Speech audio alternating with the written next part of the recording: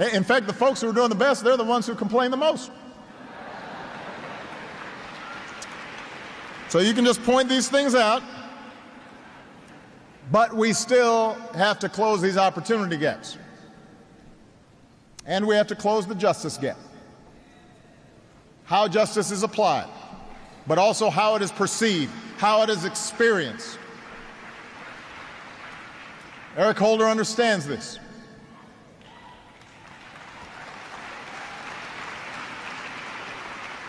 That's what we saw in Ferguson this summer when Michael Brown was killed and the community was divided.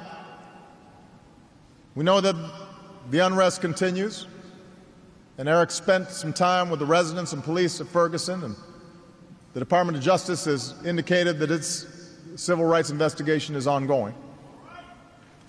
Now, I won't comment on the investigation. I know that Michael's family is here tonight.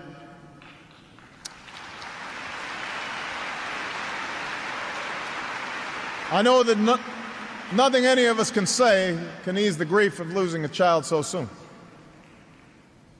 But the anger and the emotion that followed his death awakened our nation once again to the reality that people in this room have long understood, which is in too many communities around the country, a gulf of mistrust exists between local residents and law enforcement.